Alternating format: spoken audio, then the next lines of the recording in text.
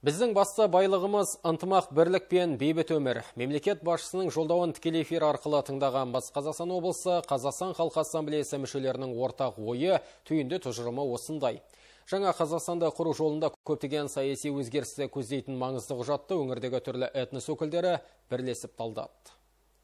Ел президенті халыққа жолдауында әлемде алуан түрлі өзгеріс орын алып, күн сайын саяси жағдай ауытқып тұрғандығын айтып өтті. Алмағайып заманда елдің тыныштығы мен тәуелсіздігімізді сақтап қалу басты міндет екеніне баса тоқталды. Бұл ретте қаңтар оқиғасынан сабақ алу маңызды. Осы күндерде жұртымыз тәуелсіздіктің қадір қасиетін жан жүрегімен сезінді. Татулық пен тұрақтылық, тыныштық пен бейбітшілік қаншалықты маңызды екенін жете түсінді. Біз мызғымас бірліктің арқасында мемлекетімізді қорғап қалдық деді мемлекет басшысы. Ел ішіндегі бірліктің айнымас үлгісі саналатын ассамблея мүшелері де бұл ойды қызу қолдайды.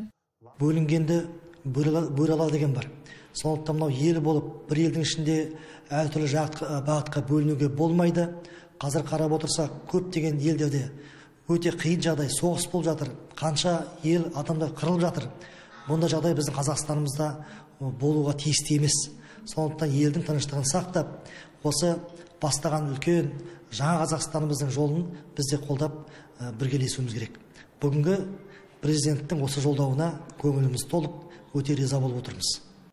Өңірдегі түрлі этномәдени бірлестік өкілдері мемлекет басшысының қазақстан халқы ассамблеясына артқан сенімін ақтау маңызды міндет деп санайды. Бұл бағытта әр азамат өзіндік үлесін қосуға ниетті.